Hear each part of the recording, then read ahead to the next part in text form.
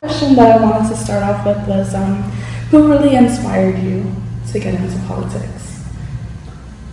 Well, that's uh, to get into politics is one thing. More than that is who have uh, inspired me and uh, being the first child of my mother and father. Uh, my father is a man that uh, you know came from a big family. I think he came from a family of fifteen, and uh, he grew up and, and worked before the war. There was a bank of before the war, but owned by the Navy. And um, my father was employed. Uh, you know, the local people uh, were employed uh, by the Navy. A major uh, employer. You've got some people like before the war that I know. Martinez, Pedro Martinez is the top tycoon, you might say, before the war. Uh, he was no question.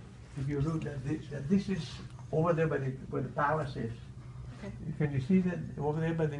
Yeah, I can see it in the background. Yeah, the background. The Plaza de España Yeah. in the back, right? Well, this is my grandfather. Mhm. Don Tomas Anderson, Anderson Calvo. Wow. Before the war, the tycoon of Guam, Pedro Martinez. That's Bishop, that says, yeah, Governor Bradley. That's Governor Bradley. And uh, Pedro Martinez, and this is Mr. Mr. Paris. And uh, that's Judge Manibusan over there in the back. So these are, these are the people that, that uh, of course, that's my family. I have a big family. Oh, very beautiful. And there's the man that uh, I have uh, the greatest uh, admiration, Admiration. and uh, have motivated me to be what I am. The Pope visited our island. Wow. There's Very nice. Bishop Flores there with the Pope,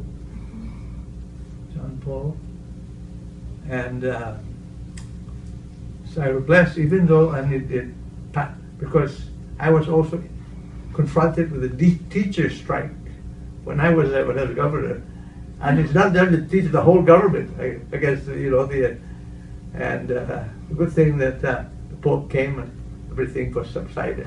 I'm a lot about Guam in my my class, and um, it's it's just astonishing how far Guam has come from. In spite of how we were treated. Yeah, exactly. You know, many years being cap- captive under the Yeah, yeah. Japanese, and it's Look at the, the they just uh, there um, something that happened where they were uh, uh, they even just put the, the rest of the Marianas except and were not even asked to. I don't know whether Madeline just didn't go there, but but you know that. Um, but yeah, we have been uh, we have been taken uh, advantage of. I have one more question. Um, for many years now, people have been questioning the political status of Guam. You know, um, everybody, there are many people that want us to become a statehood. You know, many people that want us to be independent in our own nation. How do you feel? What What do you think we should? I feel become? that uh, we deserve to be a state.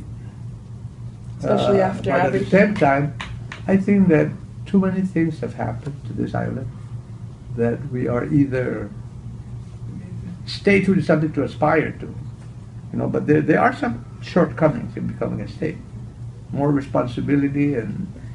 But at the same time, uh, we should at least be given our dues. for your time today. Oh my gosh, I know you're Merry probably Christmas. very busy. Gotta go but- to report to my superior.